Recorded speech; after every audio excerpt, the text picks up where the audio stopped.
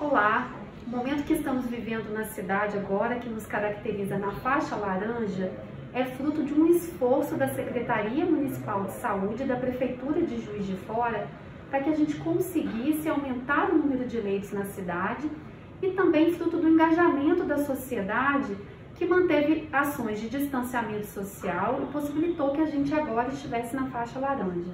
Devido ao carnaval, os próximos dias serão dias que todos nós precisaremos ficar muito atentos. No ano passado, os dias que se seguiram aos feriados foram dias que sempre os indicadores epidemiológicos mostraram um acréscimo no número de casos suspeitos e confirmados.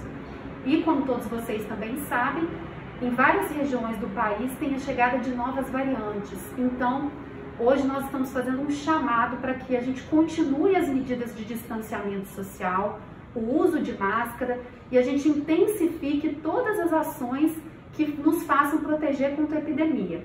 A epidemia ainda não acabou e nós precisamos todos nos engajar, porque não basta a prefeitura, nós precisamos de cada um de vocês para que a gente consiga vencer a epidemia ainda este ano.